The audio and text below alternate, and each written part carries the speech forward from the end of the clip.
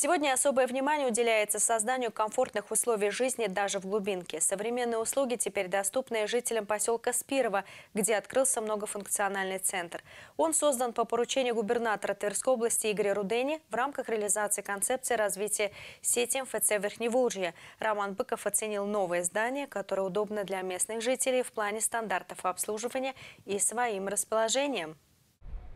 МФЦ в Спирве, конечно же, был, однако располагался в старом здании, которое перестало соответствовать всем требованиям, предъявляемым к данным учреждениям. В итоге было решено возвести современную модульную конструкцию. От лица жителей э, Спировского муниципального округа я хотел бы поблагодарить губернатора Игоря Михайловича Руденю, членов правительства, за то, что было выделено финансирование. Новый офис МФЦ расположен очень удобно в самом центре Спира. Вот там Советская площадь, здесь находятся все органы власти, почта, дворец культуры, вот там дальше прокуратура, Дума, ЗАГС и так далее. То есть нужно пройти буквально, не знаю, 15-20 секунд, чтобы оказаться в этом офисе МФЦ.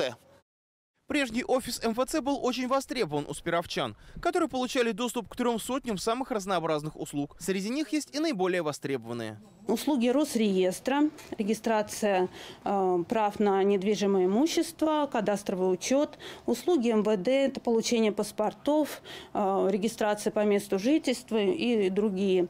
Также услуги пенсионного фонда, услуги социальной защиты населения, услуги Министерства демографии. Жительница поселка Светлана Байкова стала первой среди земляков, кто успел оценить новый офис МФЦ. Женщина говорит, что с прежним и не сравнить. Очень комфортно, уютно, главное близко. Я вот живу здесь в пятиэтажке, не надо далеко никуда ходить. Действительно, очень вот место выбрано прекрасно. И тепло, светло. Вообще милые очень женщины работают в этом. Я уже с ними сталкивалась, бумаги оформляла, документы. Всегда с лаской, с улыбкой, подскажут, если что-то не так.